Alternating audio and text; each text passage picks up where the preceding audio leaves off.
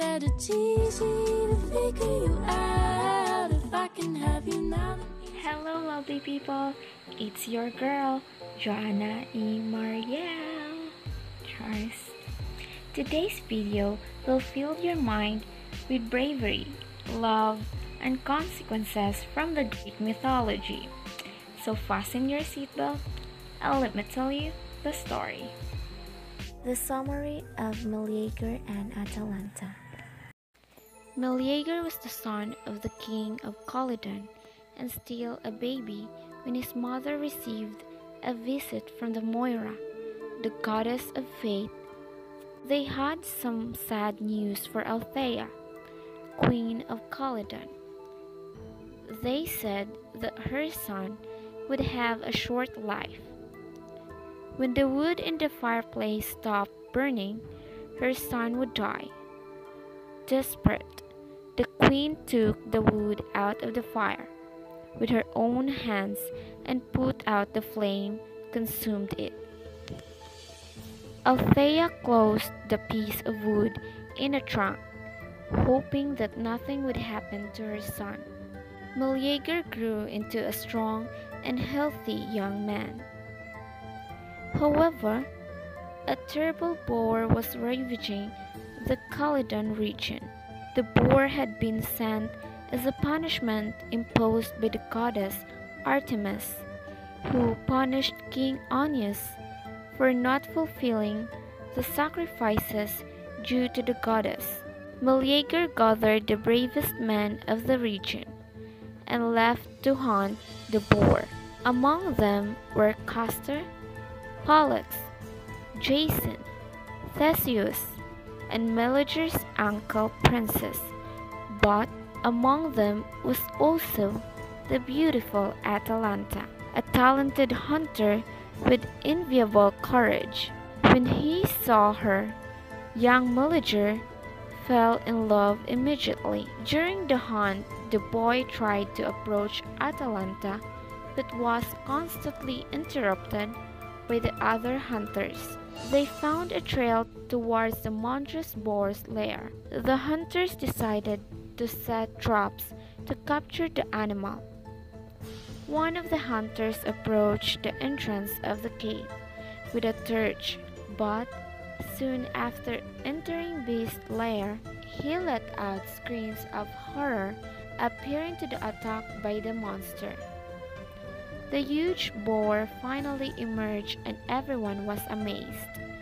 The nets set by the hunters were unable to hold the animal, which tried to escape from its pursuers mounted on their horses. They left behind the animal. The hunting dogs beat the animal on its side, but the later furious killed the pack leader using his fangs. The hunters used arrows and spears against the great boar, but without much effect. However, due to the enormous persecution, the beast began to run out of breath. Atalanta shot an arrow directly into the monster's eye, which screamed in pain. Meleager celebrated the great shot of his hunting partner, who reciprocated with a smile. Tired, the animal gave up running. He stopped and tried to scare away the dogs that were chasing him. Meleager came down from the horse with his spear in hand. Carefully hidden to the animal, when he identified the perfect opportunity, he attacked the boar with his spear. The blow was lethal and the animal fell in agony. The prince took his sword and cut off the boar's head. Meleager delivered the head of the beast as a gift to Atalanta. When watching that scene, his uncle was outraged and he grabbed the head from Atalanta's hands, saying that trophies were not for women.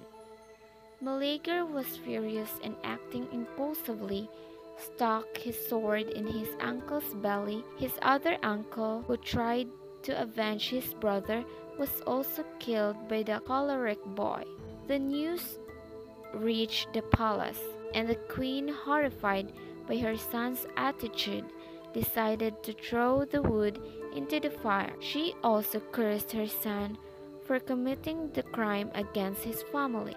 Disillusioned, she grabbed a knife and buried her heart away from there. Meleager began to feel terrible chest pains and fell into the arms of his beloved Atalanta. She saw the young man suddenly agonized in her arms. After the flames consumed all the firewood, Meleager gave his last breath and left for the kingdom of Hades. As what the story goes, you will pay for what you did. We all do believe in this. As Meleager's uncles disrespected his decisions, he killed them. Meleager's consequence for murdering his uncles was his death. Since his mother killed him, guilt overcame her and it led to her death. You can apply this to life by thinking your decision thoroughly before you act upon them, as the saying goes. For every action, there's an equal opposite reaction. Before you say something or act in a certain way, think about the consequences. A person could be unprepared to hear Some truth or won't respond well to our gestures. no matter how good our intentions are. Always remember, treat each word with caution. Thank you. Is what I'm about. Do I want